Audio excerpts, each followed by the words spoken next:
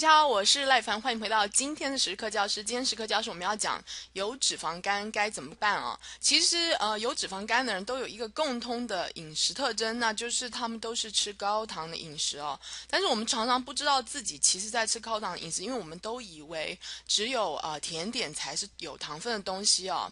像呃一克呃一一碗五十克的燕麦有这么多糖，一个地瓜有这么多糖，一根香蕉有这么多糖，呃一。一个最低糖量的这个精力汤有这么多糖，一碗白饭有这么多糖啊，那。当你呃吃这些东西有这么高糖呃份的东西，却不跟着有油脂跟蛋白质东西一起吃的时候，血糖就会开始震荡。为什么？因为这些糖分就没有油脂跟蛋白质去减缓它分解的速度，它进入糖呃进入血液的速度就非常快啊。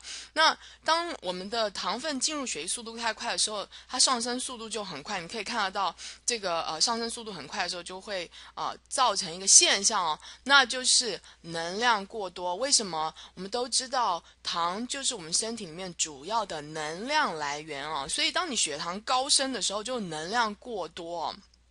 当我们身体能量过多的时候，身体就要做一件事情，那就是它要把这个过多的能量呢拿来合成脂肪哦。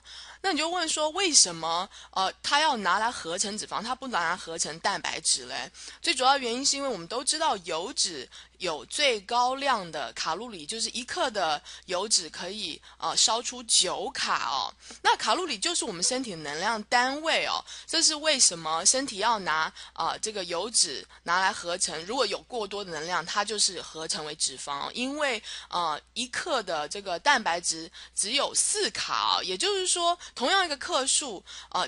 储存成油脂，它可以存的能量比蛋白质要多很多哦。这是为什么？我们身体如果有呃这过多的能量，它就是储存为脂肪，而脂肪呢，也就是我们身体里面的备用能量哦。所以，当你能量过多，也就是血糖过高的时候，它存的就是脂肪哦。所以它现在要合成脂肪。那我们看一下，我们脂肪合成在的这个地方在哪里哦？其实脂肪合成的地方就是在肝脏哦。那。当你的肝脏呃有过多能量，就是血糖过高的时候，就会开始合成脂肪。如果说现在肝脏，那它合成完以后，它放的地方就是在肝脏附近哦。如果现在肝脏摆满了，摆不下，它就摆肚子啊。你就看到有的人就会开始胖肚子哦。他有时候会瘦瘦，但是肚子还是会胖胖的。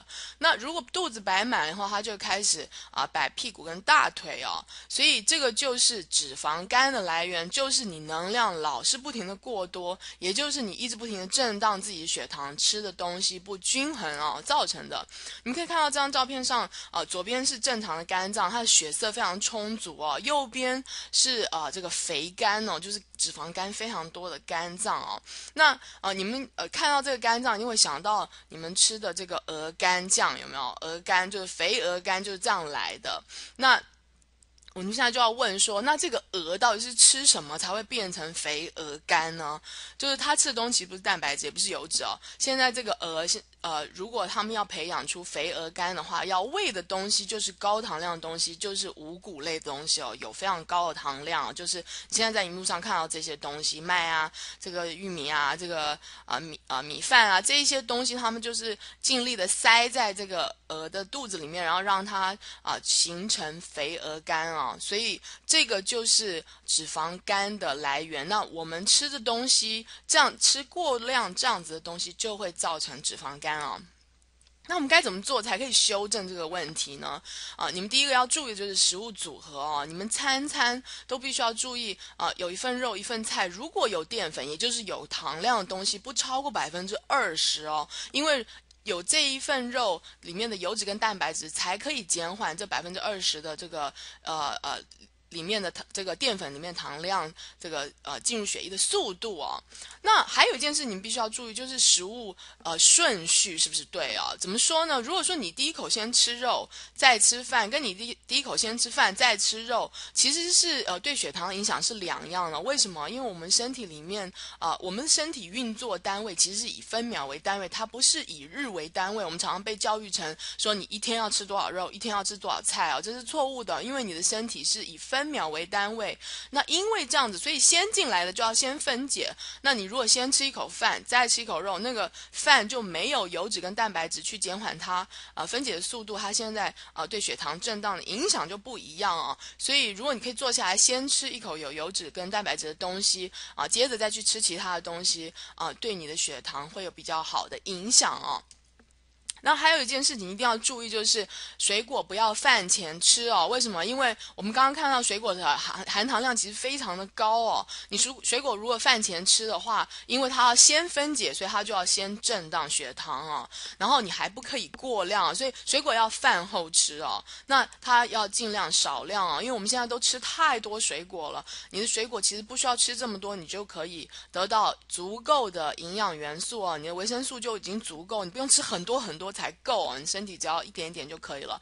所以水果要饭后吃，而且要少量，因为多过量的水果也会造成啊这个血糖震荡。这是为什么那么多人说我都不吃油，也不吃肉了？为什么我有这么高量脂肪肝啊？因为你吃太多水果或者是高糖的食物哦。